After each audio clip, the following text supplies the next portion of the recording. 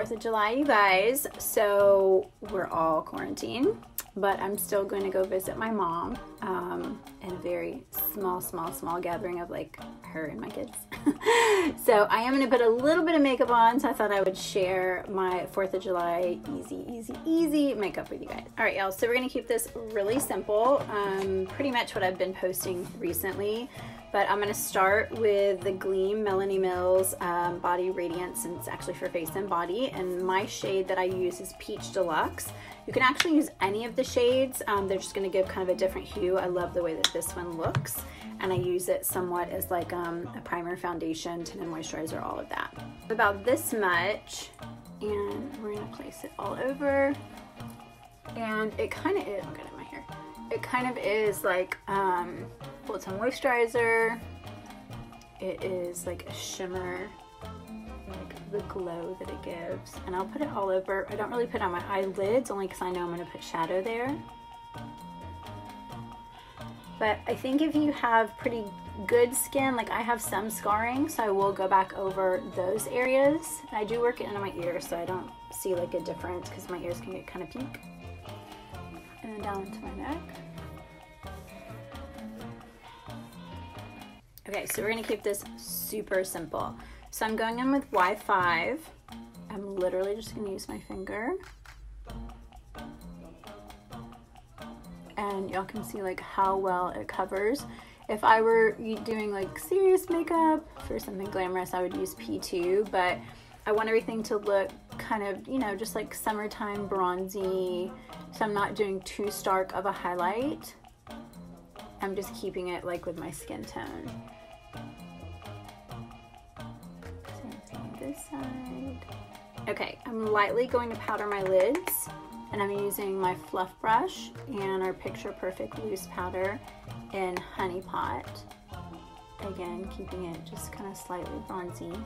I'm going to my Day to Night palette and I'm just going in with Seashell, which is just super simple and it's almost just like a champagne kind of nude skin tone. It looks good on every single skin tone. And you can find all of these shadows either separately on our website at tpfcosmetics.com or they come together in this palette called our Day to Night palette, which has tons of different looks that you can create. That one is Seashell. That I'm using from our Day to Night palette is Macchiato and I'm just gonna apply that to the crease. Now I actually have a lot of space between my crease and my um, like arch of my brow. So I'm using the fluff brush, but if you have like a smaller area here, I would go in with our crease brush just keeping it really soft. And if you notice, like I always hold the brush where the tape so it gets more in that crease for you and above it and does a lot of the blending for you rather than holding it like this, which can kind of flatten the eye. Okay, so I went in and I blended my brow bone just with a clean brush, and now I'm gonna go in with macchiato underneath my lower lash line. And I'm using my smudge brush. And this shade is also in our Day to Night palette. It's the same one I used in my crease. And just smudging out underneath, keeping it really soft. Next I'm going in with our blackout gel liner and I'm using my gel liner brush. It's supposed to have that little crick, that's my favorite part. and I'm gonna go underneath my top lash line. And if you guys do not have brushes or you don't have what you would consider really good brushes, um, I highly recommend investing in something that's going to last you a very, very, very long time if you take good care of it. In fact, Rachel Cruz, who, if you're familiar with Dave Ramsey, um, that is his daughter, she actually posted about our brushes the other day, which was super exciting. So I'm totally out of um, makeup wipes. I need to make a Costco run, but this is just, um, actually it's a little bit of coconut oil on a Q-tip. I was gonna say like eye makeup remover, but it's just coconut oil. And it doesn't leave too much residue because I just used a tiny bit, but it'll take off like any fallout. I'm just cleaning up underneath. Okay, so once I've cleaned up, I'm going in with Picture Perfect Foundation Y6 just using my fingers anywhere where the um, gleam didn't give enough coverage, like if I have blemishes or any scarring, like I have a little scarring on my chin, um, I'm gonna go in with basically like a little bit of a shade darker than my foundation color because once I put on the gleam it made it a little bit darker. Here. And then, can you hear my kids screaming in the background? They're playing Beyblades. Do y'all know what that is? If you have boys, you probably know what Beyblades is. But they get like all crazy about it. Okay, so y'all can see how quickly and easily that just covered. And I'm gonna do Y5 underneath my eyes. So that does brighten it just a little bit more. But a tiny bit of coverage, like the foundation is not all over my face. We're just going with the gleam.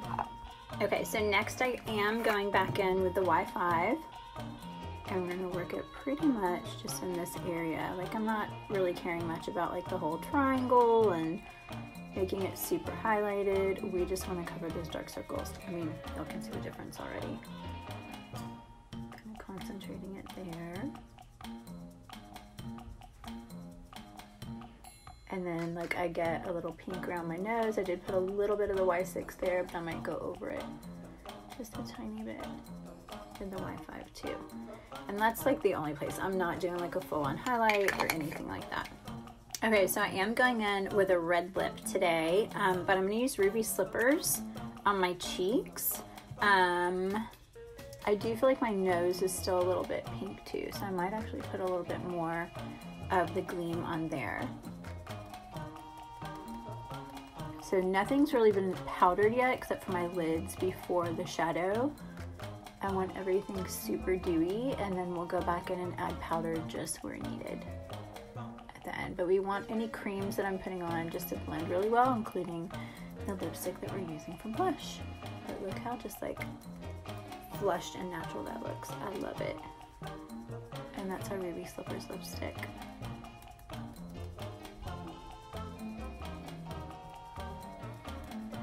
All right, I'm gonna get some brows. So I'm gonna comb them through first. Find their shape just a little more. And then,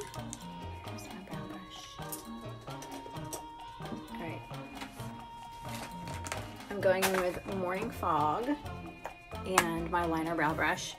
And if you haven't noticed on my stories lately, I've been asking a lot of questions about if you guys would want some Zoom classes, like really specific classes.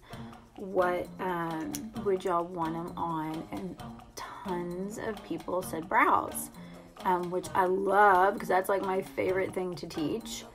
Um, like really specifically how each person's brow should be shaped for their face, all of that. So that is going to be one of the first Zoom classes that I launch. Um, they should be coming up and what color you should use, um, all that good stuff. So hopefully you guys are interested and let me know if you're interested in the other courses as well. Okay, so I have on my brows, I'm literally just taking a little spoolie, spraying it with some hairspray, and we're gonna comb these up. You can use brow gel, um, this is just handy for me and I don't have to buy brow gel because it does the exact same thing.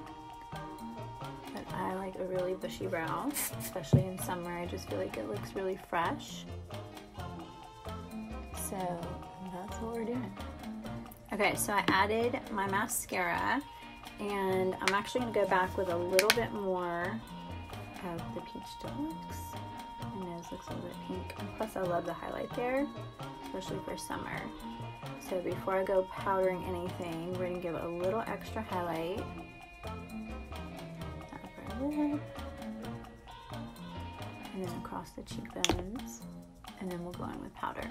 Okay, so any areas that I don't want shiny, I'm gonna go in with our Honey Pot loose powder.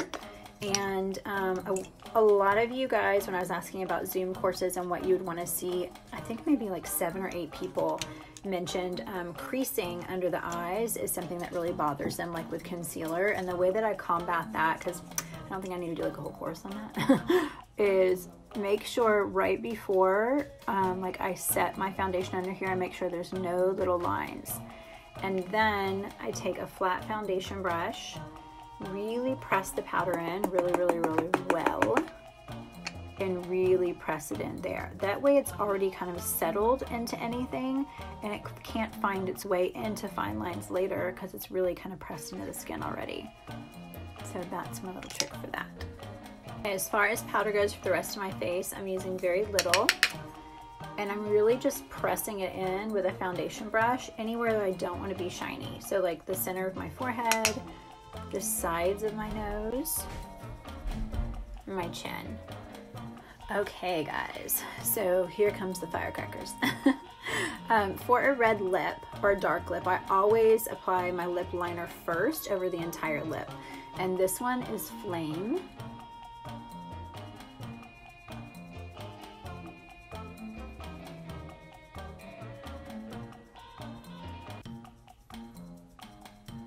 As you see, I like to overlay them just a little bit.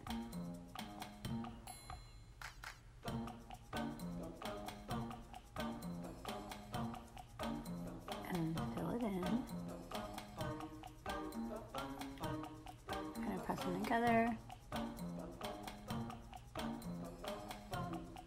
Okay, so here's what I do for long lasting lips. Once I have my liner on,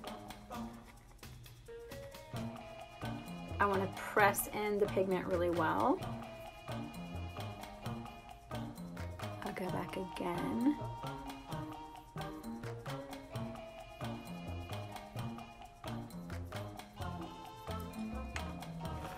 Press again. And then today I'm going in with Russian lipstick. I always recommend using a lip brush if you're doing a darker color.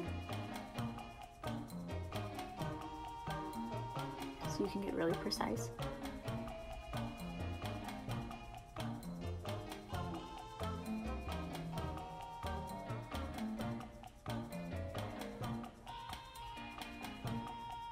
I'm kind of digging just the liner too.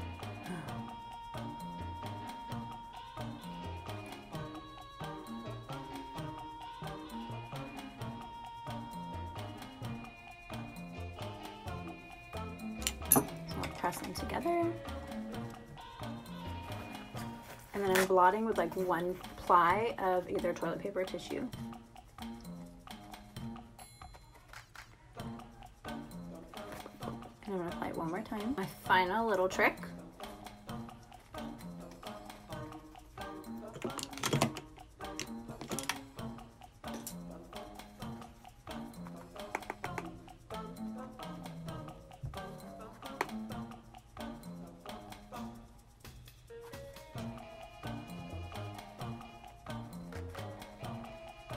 that will give you super long lasting red lips. So it kind of mats it down and because it's one ply, the powder will go through it, giving you like a really pretty, pretty red matte lip.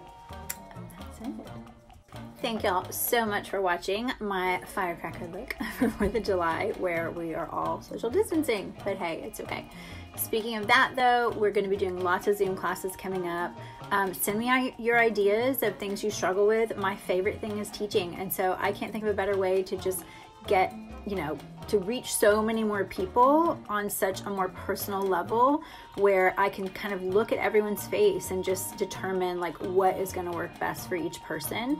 Obviously, I still do a lot of teaching on here, but I think it's going to be a lot more intense um, as far as I want you to really be able to grasp the concepts, not just understand them, but transform you with them. So again, y'all give me your ideas and let me know what you think.